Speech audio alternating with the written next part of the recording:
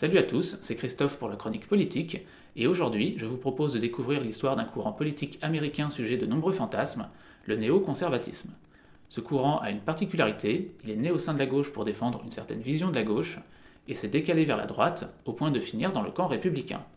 Et si cette histoire permet de comprendre l'évolution du champ politique américain, elle permet aussi de comprendre les dynamiques en cours au sein de la gauche française. Chez nous, la gauche se déchire depuis plusieurs années sur les questions liées à l'immigration et à la laïcité, mais aussi aux théories postmodernes. Et il se trouve que nombre de mécanismes et de querelles idéologiques liées à l'apparition du néoconservatisme aux États-Unis se retrouvent dans les débats français. C'est pourquoi, dans une prochaine vidéo, à partir de cette histoire américaine, je vous proposerai une grille d'interprétation pour comprendre ce qui se passe actuellement au sein de la gauche française. Également, une petite remarque avant de commencer notre histoire, celle-ci couvre trois décennies et implique plusieurs dizaines de politiciens et d'intellectuels. Aussi, pour ne pas vous saturer inutilement de noms, je ne me concentrerai que sur les figures majeures. Maintenant que c'est dit, passons à notre histoire. Symboliquement, pour bien marquer l'origine de gauche du néoconservatisme, on fait traditionnellement commencer la préhistoire du courant dans les années 30 et 40 au City College de New York, une sorte d'université publique gratuite de seconde zone, mais qui permet aux familles pauvres et souvent d'origine immigrée d'envoyer leurs enfants dans le supérieur. Car c'est une particularité sociologique des premiers néoconservateurs, ce ne sont pas des WASP, des White Anglo-Saxon protestants, des descendants des premiers colons anglais, mais des immigrés récents issus de milieux modestes, le plus souvent juifs ou catholiques new-yorkais. Parmi les étudiants du City College dont on reparlera dans notre récit, on peut citer Irving Kristol, Daniel Bell, Nathan Glazer, tous issus de familles juives, mais aussi Daniel Patrick Moynihan, venant lui d'une famille catholique irlandaise. À cette époque, les futurs néoconservateurs sont étudiants, ils sont à gauche, et même certains très à gauche, la plupart ayant fréquenté un cercle trotskiste établi au City College, donc communistes anti-staliniens et critiques de l'URSS. Bien sûr, tous les néoconservateurs n'ont pas été trotskistes et n'ont pas fréquenté cette université. Par exemple, Norman Podhoretz, qui sera pourtant une figure majeure du mouvement. Suite à ces années d'études, au cours des années 50 et début des années 60, ceux qui étaient trotskistes se sont déradicalisés et nos futurs néoconservateurs sont devenus des notables de gauche. Certains sont journalistes comme Podhoretz, qui dirige la revue Commentary, d'autres sont universitaires comme Bell, Crystal ou Glazer, et d'autres ont intégré des cabinets ministériels comme Moynihan. Ils ont pris part aux combats de l'époque, comme la lutte pour les droits civiques, et ont passé une partie des années 50 à lutter contre l'influence communiste, aux côtés des libéraux de guerre froide, la gauche américaine anticommuniste. À cette époque, de fait, ils font partie de ce libéralisme de guerre froide. L'histoire du néoconservatisme commence réellement dans les années 60, sous les présidences de John Fitzgerald Kennedy puis Lyndon Johnson, deux démocrates qui portent des projets de société dans la continuité du New Deal. D'ailleurs, avant de continuer, il faut dire quelques mots sur le New Deal, car il s'agit d'un événement important qui a donné naissance au clivage gauche-droite moderne aux États-Unis. Avant la crise de 1929, le Parti démocrate est un parti centriste, libéral au sens classique du terme. Lorsque le démocrate Franklin Roosevelt est élu président en 1932, il met en place le New Deal pour sortir le pays de la crise. Il lance des grands travaux et crée les assurances chômage et retraite. Le Parti démocrate devient alors un parti interventionniste, contrairement à l'idéal libéral classique. C'est avec le New Deal que le terme libéral commence à dériver aux États-Unis pour devenir synonyme d'interventionnisme étatique, de programmes sociaux, d'État-providence à l'américaine et à désigner la gauche. Aujourd'hui encore, la volonté de prolonger les politiques du New Deal, d'améliorer les programmes sociaux ou au contraire de les abroger marque l'opposition gauche-droite. Dans les années 60, Kennedy et Johnson portent donc des projets sociaux dans la lignée du New Deal. Kennedy crée les Community Action Programs, des sortes de plans d'action sociale participatifs impliquant localement les populations pauvres. Johnson, lui, améliore les protections sociales en créant Medicare et Medicaid et fait voter des lois abolissant la discrimination raciale dans le Sud. Étant jeunes universitaires ou membres de cabinets ministériels, les futurs néoconservateurs participent à la mise en place de ces mesures sociales, d'abord avec enthousiasme, dans un esprit très technocrate. Pour eux, les experts, armés de leur savoir, peuvent transformer la société. Mais très vite, ils déchantent, et, réalistes, ils tirent des bilans critiques de leurs actions, notamment à travers la revue The Public Interest, fondée par Daniel Bell et Irving Kristol. Au fil des analyses, la revue mettra en avant un fait gênant. Les programmes sociaux ratent souvent leurs objectifs, entraînant des effets pervers imprévus, comme l'accroissement de la dépendance des populations pauvres aux subsides de l'État, sans pour autant les sortir de la misère.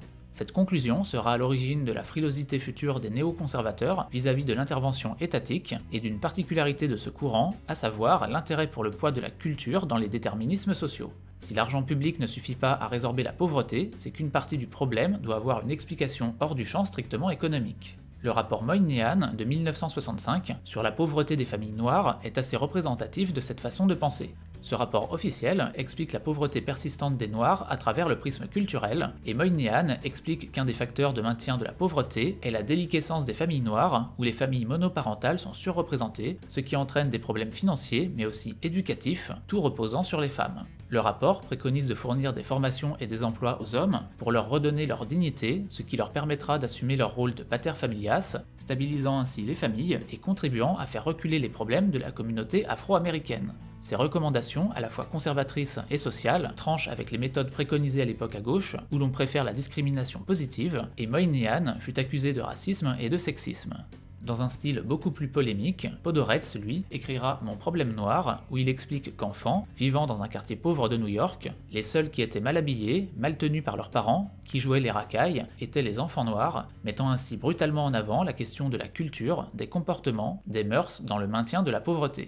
Une autre question problématique est celle de la discrimination positive et des quotas qui voient le jour dans les années 60. Les néoconservateurs y sont farouchement opposés.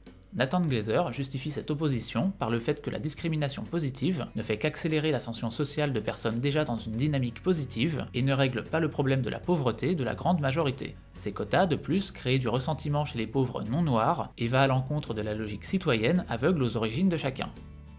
Également, on peut comprendre ce refus de la discrimination positive en se rappelant de l'origine familiale de nos néoconservateurs. La plupart d'entre eux sont issus de l'immigration récente et doivent leur ascension sociale à la méritocratie et non à des quotas ethniques. Quelque part, ce qu'ils défendent, c'est l'American Dream que eux-mêmes ont vécu. Et puis, à cette déconvenue liée à l'action politique démocrate, va très vite venir s'en ajouter une seconde. Les années 50 et 60 sont marquées par l'apparition d'une nouvelle gauche, socialement et culturellement différente de celle des décennies précédentes et on est alors en plein dans ce qu'on appelle les Radical 60s. De nouvelles luttes et questions apparaissent hors du champ économique. Mouvements anti-guerre, contre-culture, libération sexuelle, usage des drogues, radicalisation d'une partie du mouvement noir, etc. Ces luttes sont portées en grande partie par les milieux intellectuels et étudiants. Cette gauche d'un nouveau genre, différente de l'ancienne dans ses revendications mais aussi dans sa sociologie, est appelée de façon parlante Nouvelle Gauche. Les motifs de divorce avec la gauche traditionnelle sont nombreux. La nouvelle gauche est plus intéressée par les questions sociétales que par les luttes sociales. Au nom de la critique, baigne dans une sorte de relativisme moral complet et met les campus sans dessus-dessous avec ses mobilisations permanentes, menant une chasse aux sorcières contre tout ce qui n'est pas aussi radical qu'elle. Les néo-conservateurs, qui sont souvent universitaires, sont alors aux premières loges et voient leur institution se transformer en zone de contestation de toutes les valeurs américaines. L'ambiance sur les campus est délétère. Par exemple, en 1969, un groupe d'étudiants noirs radicaux de l'université de Cornell occupent un bâtiment, arme à la main, et ainsi obtiennent la création d'un centre d'études afro-américaine. Autre exemple, en mai 1970, une série de manifestations contre l'invasion du Cambodge secoue l'université de Kent, un bâtiment de la réserve militaire étudiante est incendié et la garde nationale ouvre le feu lors d'une manif. Bilan 4 morts. Et au-delà de l'agitation, les néoconservateurs perçoivent les revendications sociétales comme du relativisme moral. Or, ils ne supportent pas le relativisme. C'est l'une de leurs particularités, de leurs études sociales, de leurs réflexions. Ils tirent la conclusion que toute société a besoin de règles et d'institutions sociales pour fonctionner, règles et valeurs que le capitalisme, qui n'est qu'un système économique, ne génère pas. Il faut donc des cadres, des institutions sociales, comme la famille ou la religion, pour porter ces valeurs, toute chose que la nouvelle gauche voudrait voir disparaître au nom de l'émancipation de l'individu. Ils vont donc produire une analyse, ou plutôt une critique de la nouvelle gauche, avec un ensemble de concepts qui visent à la polémique. Pour eux, cette dérive de la gauche du social vers le sociétal, du progressisme libéral vers le radicalisme, est due aux nouvelles classes intellectuelles de gauche, ce qu'ils appellent la New Class, terme plus polémique que sociologique, classe qui, paradoxalement, critique le système tout en vivant de ses subsides et qui propage ce qu'ils appellent l'adversary culture, la culture contestataire, une espèce d'autodénigrement permanent, de culture pénitentielle, de culpabilisation de la société américaine, qui serait l'unique origine de tous les maux de la Terre. À ces deux déconvenus va bientôt s'y ajouter une troisième, à la fin des années 60, une partie de la nouvelle gauche se déradicalise, entre au Parti démocrate, dont elle va gauchir la ligne et auquel elle va apporter ses intérêts sociétaux. Ces nouveaux militants vont remettre les primaires au goût du jour pour désigner le candidat à la présidentielle, alors qu'à l'époque, on laisse plutôt les cadres faire leur tambouille. Au passage, ils vont demander des quotas pour représenter les minorités opprimées, les noirs, les femmes et les jeunes, parmi les délégués élus. Résultat, lors des primaires de 1972, c'est le candidat de l'aile gauche du parti, George McGovern, qui l'emporte au grand désespoir des néo-conservateurs. McGovern est isolationniste et veut retirer les troupes du Vietnam, il veut renforcer les programmes sociaux et la discrimination positive, et même créer un revenu universel. Ce programme lui fait gagner la primaire, mais perdre la présidentielle face à Nixon. Et c'est une véritable claque. 17 grands électeurs pour McGovern contre 521 pour Nixon, la ligne gauchiste ayant effrayé les électeurs modérés. Quelques jours après les élections, Ben Wattenberg et Ben Campbell, deux dirigeants du Parti socialiste américain, un petit parti associé aux démocrates, réagissent à la dérive gauchiste en créant la CDM, la coalition pour une majorité démocrate. Nos néoconservateurs vont les rejoindre, ainsi que de nouveaux arrivants, comme Jen Kirkpatrick, politologue, ou Eugene Rostow, juriste, ainsi que des dirigeants de l'AFL-CIO, la grande centrale syndicale américaine, réformiste et anticommuniste. Tout ce petit monde veut combattre l'influence de la nouvelle gauche et défendre les orientations classiques du Parti démocrate, à savoir la défense des classes populaires, l'alliance avec les syndicats et la priorité donnée aux revendications économiques. La CDM, de par ses objectifs et sa composition, est la seule organisation 100% néoconservatrice de notre histoire. Elle va s'impliquer dans les commissions de rénovation du parti organisées suite à la catastrophe McGovern. Elle va réussir à faire abandonner l'idée de quotas parmi les délégués aux primaires et défendra l'idée de délégués nommés par l'appareil du parti pour modérer ceux élus par la base. Indirectement, la CDM est à l'origine des super-délégués qui, depuis leur création, ont effectivement contribué à empêcher la victoire de tout candidat trop radical, Bernie Sanders étant le dernier en date à en avoir fait les frais.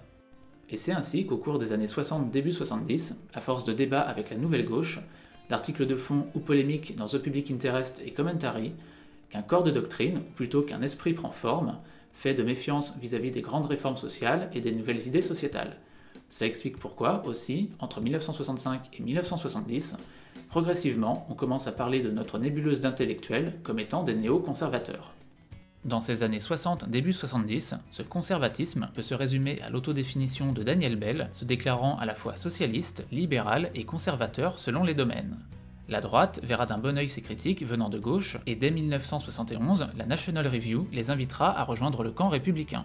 Mais reprenons notre histoire. À partir de 1973, les néoconservateurs vont changer de centre d'intérêt, vont délaisser la politique intérieure et vont se focaliser sur la menace soviétique. Pourquoi se tournant vers l'international? D'abord, il y a les deux guerres israélo-arabes. Nombre de nos démocrates conservateurs sont juifs et tiennent à Israël, mais il y a aussi des raisons moins sentimentales. Les pays arabes sont des dictatures pro-soviétiques, alors qu'Israël est le seul pays démocratique et de gauche de la région.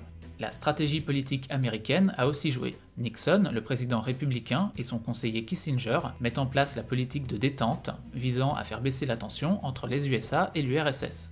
Pour ce faire, ils utilisent la technique du linkage, à savoir des négociations permettant à chaque superpuissance de proposer une avancée dans un domaine en échange d'une avancée dans un autre. Cela a pour effet de faciliter et dépolitiser les négociations. L'URSS a besoin de blé et de technologie et en échange peut céder du terrain dans le domaine politique. Cette stratégie scandalise les néoconservateurs, pour qui la lutte contre le régime soviétique est aussi une lutte morale, un véritable combat contre un ennemi civilisationnel. Il s'agit de défendre la liberté et les droits de l'homme contre l'oppression et la tyrannie. Comme pour la politique intérieure, ils ne supportent pas le relativisme, et pour eux, les négociations avec l'URSS ne peuvent pas juste être une négociation de marchands de tapis. Ils vont donc s'employer à repolitiser la question soviétique et à faire échouer les négociations, mais aussi à muscler la politique militaire américaine et vont devenir faucons. Aux USA, on distingue les partisans de la guerre, les faucons, des pacifistes, les colombes.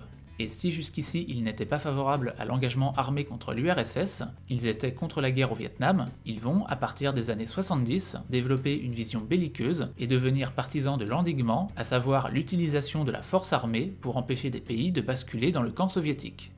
Plusieurs pôles vont apparaître dans ce combat contre l'URSS, et à nos intellectuels new-yorkais vont venir s'ajouter des politiciens de Washington et les jeunes membres de leur cabinet. D'abord, il y a la CDM, dont ce n'est pas le but initial. Elle axe son action autour de la défense des droits de l'homme bafoués en Union soviétique et invite nombre de dissidents à s'exprimer. On peut aussi compter sur Commentary, toujours tenu par Podorets. La revue publiera par exemple une série d'articles écrits par Pat Moynihan, dans lesquels il pourfend l'équivalence morale USA-URSS, série d'articles qui sera remarquée par Kissinger et vaudra à leur auteur d'être nommé ambassadeur des USA aux Nations Unies en 1975. Moynihan ne restera en poste qu'un an, mais s'attirera la sympathie de l'opinion publique américaine en bataillant contre la résolution 3379 de l'ONU, portée par l'URSS et les pays arabes, assimilant le sionisme à un racisme. De nouveaux venus se joignent aussi à l'histoire du néoconservatisme à cette époque, à savoir le sénateur démocrate Henry Scoop Jackson et ses jeunes conseillers, entre autres Richard Pearl et Paul Wolfowitz. Scoop Jackson s'emploiera à saboter la stratégie du linkage en obligeant le gouvernement, lors des négociations, à systématiquement demander la possibilité pour les juifs soviétiques d'immigrer en Israël, mettant ainsi l'URSS dans l'embarras vis-à-vis de ses alliés arabes. Lui aussi s'implique dans la défense des droits de l'homme, et par exemple, il participera à la médiatisation de la venue de Soyenitsyn aux États-Unis.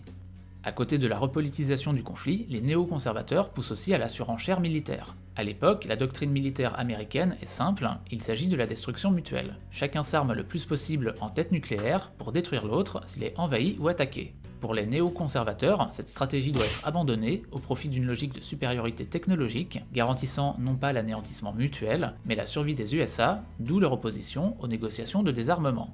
Cette question militaire sera portée par le CPD, le Comité pour le danger présent, un groupe transpartisan rempli de néoconservateurs de la CDM et créé par l'un d'entre eux, Eugène Rostov. Ce comité produira des rapports et mènera des campagnes vers l'opinion publique très alarmistes sur le niveau d'armement de l'URSS. Au niveau de la politique intérieure, lors des primaires de 1976, les néoconservateurs misent tout sur Scoop Jackson, mais manque de chance, c'est un quasi inconnu, Jimmy Carter, qui est désigné candidat et qui gagnera la présidentielle. La même année, Moynihan devient sénateur de New York. Il détiendra ce siège jusqu'en 2000, date à laquelle une certaine Hillary Clinton lui succédera. Le président Carter, lui, tentera de se concilier les néoconservateurs, mais sans succès. Sa politique vis-à-vis de l'URSS est jugée trop conciliante, d'autant que la fin des années 70 marque un regain d'activité soviétique et anti-américaine. Il y a par exemple l'expédition cubaine en Angola, l'invasion de l'Afghanistan par l'URSS, mais aussi la révolution iranienne, et tout cela conforte nos faucons dans leur ligne dure et les éloigne des positions démocrates classiques. Et ce, au point que la présidentielle de 1980 va être un véritable cas de conscience. Le candidat démocrate n'est autre que le président Carter, qui a fortement déçu nos néoconservateurs, et pour la première fois, la question se pose, faut-il soutenir le candidat démocrate ou bien le candidat républicain, qui n'est autre que Ronald Reagan, un ancien libéral de guerre froide passé à droite, réputé pour son anticommunisme. Nombre de néoconservateurs vont donc soutenir officieusement le candidat républicain, et le comité pour le danger présent, lui, ira même jusqu'à le soutenir officiellement, mais bon, il faut aussi dire que Reagan en est membre. À partir de ce moment-là, au contact du pouvoir républicain et désormais tourné quasi exclusivement vers la question internationale, le basculement à droite d'une partie du néoconservatisme commence. Reagan est élu et de nombreux néoconservateurs, surtout les plus jeunes, arrivés dans les années 70, entrent dans son administration. Parmi les plus importants, Eugène Rostow dirigera l'agence du contrôle de l'armement et Jane Kirkpatrick sera nommée ambassadrice à l'ONU. Il faut dire qu'elle a été remarquée dès 1979 par Reagan après un article publié dans Commentary dans lequel elle expose sa vision internationale faite d'anticommunisme viscéral. De quoi plaire à Reagan qui lui appelle l'URSS l'empire du mal. La rencontre Kirkpatrick-Reagan donnera naissance à une politique internationale musclée faite de soutien aux guérillas anticommunistes. Les néoconservateurs s'installent aussi dans les think tanks conservateurs, comme l'American Enterprise Institute, qui accueille nombre d'entre eux. Certains vont s'intéresser à la religion comme facteur moral pour la société capitaliste et vont se rapprocher des sphères évangéliques républicaines, allant jusqu'à fonder un think tank œcuménique, l'Institut sur la démocratie et la religion. Et puis la politique interne du Parti démocrate aide aussi. Ainsi, Jane Kirkpatrick, lassée de l'influence de la nouvelle gauche, adhérera au Parti républicain en 1985. Dans cette période, la stratégie internationale est source de conflits entre néoconservateurs, un clivage en partie générationnel apparaissant. Les plus âgés, comme Crystal Glazer ou Kirkpatrick, sont faucons mais restent mesurés dans leur interventionnisme. Il ne faut pas laisser des pays basculer dans le camp soviétique, mais en restant dans la réelle politique. Le but est surtout de protéger les États-Unis. Les plus jeunes, eux, comme Wolfowitz, sont partisans d'une véritable croisade pour la démocratie, forgeant une vision de la politique internationale qui aura la vie dure les décennies suivantes. Et si tout va pour le mieux pour les néoconservateurs ralliés à l'administration Reagan, ceux qui sont restés à gauche, par contre, pédalent dans la smoule. Car pendant tout ce temps, la CDM est restée active pour tenter de réorienter le Parti démocrate vers le centre, mais sans succès. Les candidats vainqueurs des primaires, malgré la modification du mode de désignation, sont issus ou influencés par l'aile gauche du parti, et les scores calamiteux au présidentiel se succèdent invariablement. Néanmoins, le parti revient tout de même progressivement à des positions plus modérées, et ce grâce à l'action des démocrates du Sud, les nouveaux démocrates, qui créent le DLC, le Democratic Leadership Council. Bill Clinton, l'un de ces nouveaux démocrates, gagnera la primaire et la présidentielle de 1992. Le DLC, un comité d'élus, aura donc réussi en quelques années, là où la CDM, un comité d'intellectuels, a échoué pendant 20 ans. Pendant ces années 80, le néoconservatisme va aussi se scléroser, restant figé dans la guerre froide des années 70, et sera incapable d'actualiser son logiciel, au point de croire que les soviétiques peuvent encore gagner la guerre froide, alors même que le bloc de l'Est est à deux doigts de s'effondrer. Du coup, la chute surprise de l'URSS les laisse hagards, sans ennemis identifiés et sans réelle raison d'être. Les néoconservateurs vont alors tenter de savoir de quoi l'avenir peut être fait sans le bloc de l'Est. Francis Fukuyama écrira un livre devenu célèbre annonçant la fin de l'histoire. Pour lui, après la chute de l'URSS, il n'y aura plus de conflit. Samuel Huntington, dans son choc des civilisations, prophétisera un futur dans lequel l'affrontement ne se fera plus en fonction de grandes idéologies, mais en fonction de blocs culturels. D'autres tirent la conclusion que leur courant de pensée n'a plus lieu d'être, comme Norman Podhoretz, qui se définit désormais comme étant seulement conservateur. D'autres vont faire leur retour au Parti démocrate, l'élection de Bill Clinton les ayant rassurés sur l'évolution du parti. Fidèles à leur vision interventionniste, ils encourageront le président à s'engager dans la guerre de Bosnie. Et puis, tous les néo-conservateurs n'ont pas suivi notre histoire jusqu'au bout. Daniel Bell, qui a toujours été le plus à gauche, a laissé le mouvement au milieu des années 70 et Moynihan au milieu des années 80. Également, après des doutes initiaux face au monde sans URSS, le néoconservatisme de droite va trouver un nouveau souffle. Une nouvelle génération va apparaître au cours des années 90. Il s'agit en partie d'une succession familiale, puisqu'on y retrouve William Crystal, le fils d'Irvine, et John Podhoretz, le fils de Norman, qui reprend Commentary. Eux sont des conservateurs natifs ayant les mêmes préoccupations internationales que les néoconservateurs, notamment la volonté d'exporter la démocratie et la recherche d'une suprématie militaire américaine. Et puis, d'anciens jeunes issus de la sphère Scoop Jackson se retrouveront dans l'administration Bush et seront à l'origine de sa vision internationale après le 11 septembre, faite d'exportation volontariste de la démocratie. Parmi eux, on peut citer Richard Pearl et surtout Paul Wolfowitz, bras droit de Donald Rumsfeld à la défense. On en retrouve aussi dans l'administration Trump, notamment Elliot Abrams, qui est, entre autres, le gendre de Norman Podhoretz.